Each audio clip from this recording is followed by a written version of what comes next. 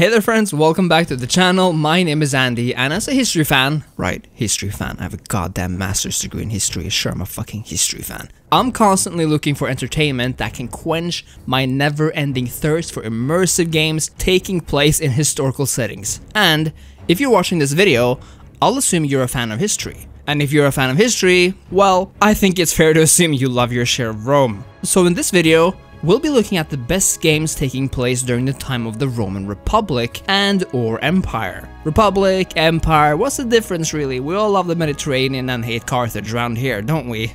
Don't we? don't we? We'll start by looking at the Roman era games you can go get right now, and then talk about the most promising Roman era game coming up.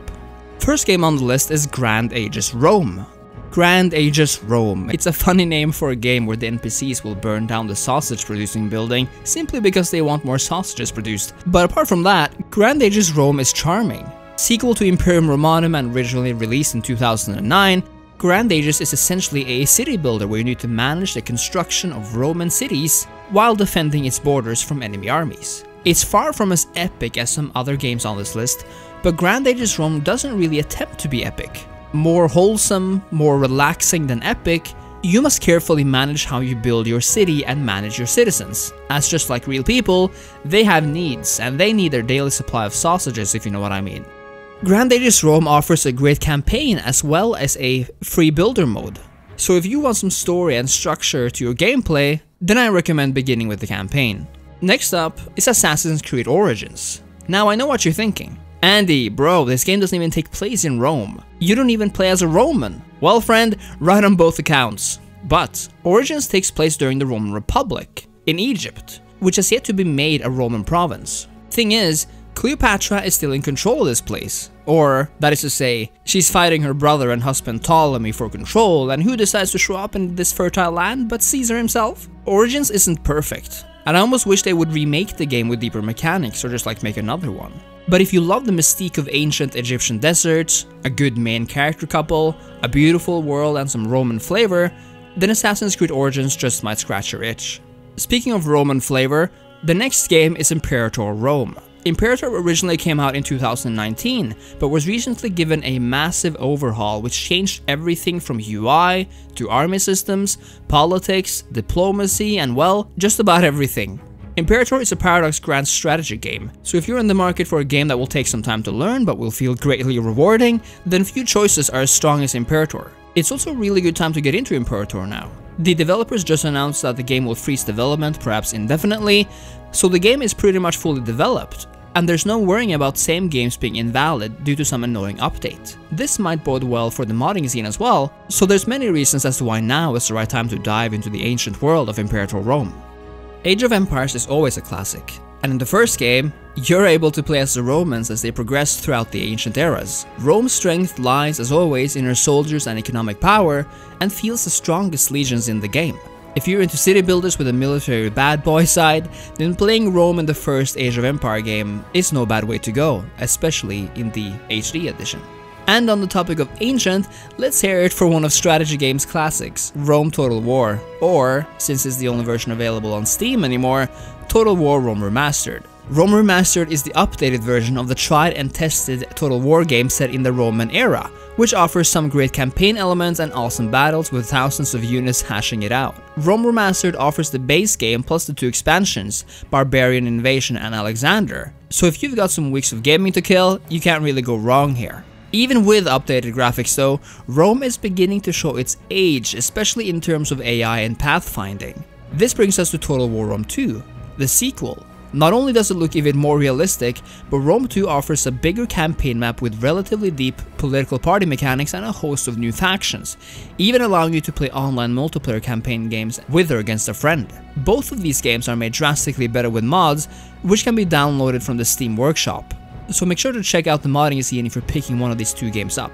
At this stage, I highly recommend RTR Imperium Surrectum for Rome Remastered and Divide et Impera for Rome 2. Happy conquering! Now we turn to Civilization 6, which admittedly does not focus on Rome specifically, but which will allow you to play as Rome by assuming the role of Emperor Trajan. As Rome, you can build Roman baths as a unique building for your faction, and you can also recruit Roman legionaries as your unique antiquity era soldier. Civilization is mainly a civilization builder, the Doi, where you take your realm from being a tribe to a modern state. So even though you technically play as Rome, it's your job to make sure the Eternal City survives and thrives throughout the ages. Now, let's move from the days of the Republic to the Empire, however decadent it becomes, shall we? We begin with Ryse Son of Rome, a massively underrated game. Ryse puts you in the shoes of Marius, a Roman legionary who's on a journey to defend Rome from doom following a barbarian invasion. You get to run around in Rome itself, siege British forts, and take in some beautiful aqueduct vistas.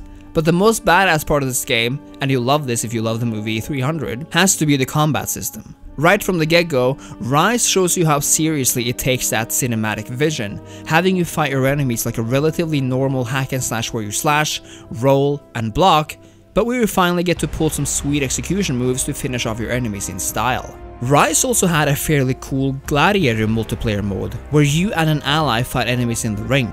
Ryse can be a bit repetitive, and I truly wish the game was longer and more diverse. But honestly, what's here is decent, and even awesome if you're a Romophile, and I wish Crytek would revive the series. Either way, Roma Invicta and all that. If Assassin's Creed Origins is the big open world of Antiquity, then Ryse Son of Rome has to be the short but intense cinematic experience. Exclusive to Xbox One in the beginning, Ryse is available on PC right now with the capability of that lovely 60 FPS or higher. In the same vein, Total War Attila takes place after the split of the Roman Empire, namely in 395 AD.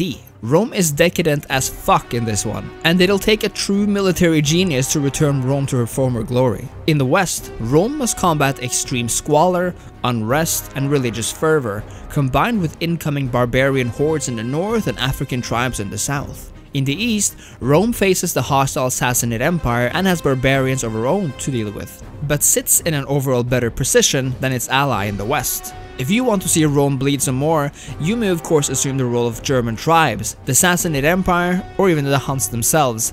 Like with Rome 1 and 2, Attila has a bustling modding scene, so there's no shortage of campaigns to play here. Attila seems to me like the best of classic and modern Total War, just be aware of some performance issues. This game is quite heavy on the hardware. And speaking of the most utter decadent piece of empire ever, The Age of Decadence is a mixed fantasy and historical classical role-playing game taking place in a world where civilization is on the brink of ruin, but where a Roman-style government is still clinging on to power. The Age of Decadence is a hardcore experience and certainly not for everyone, but if you dare to test your skills in this dark RPG, I'm sure you won't regret it. Now those were the main games I had in mind for Rome lovers out there.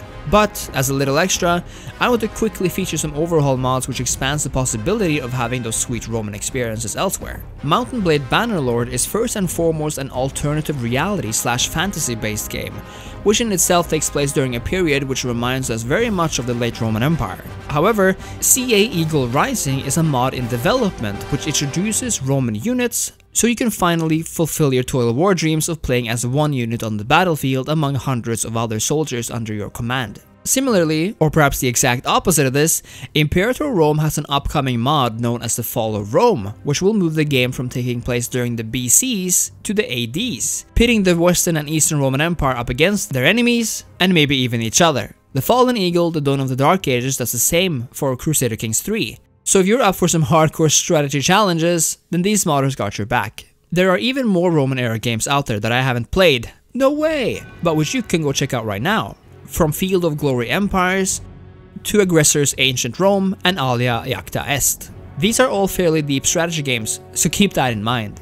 I promised to mention an upcoming Roman era game too, and even though there aren't many, there's at least one I wanted to point out. That game is Expeditions Rome, if that name sounds familiar, that's because the spiritual sequel, Expeditions Viking, is a great game that came out a few years ago from the same developer. Expeditions Rome will be a role-playing game in the classical sense, where you'll create your own character, engage in turn-based combat, level up, find loot, travel with companions, and embark on a story which takes you from North Africa to Greece, Gaul, and Rome herself.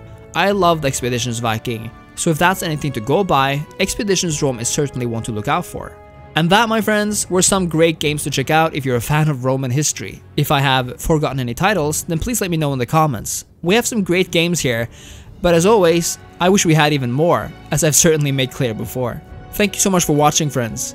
If you enjoyed the video, then please leave a like, a comment, subscribe to the channel, and consider supporting the channel on Patreon. And I'll see you next time. Cheers.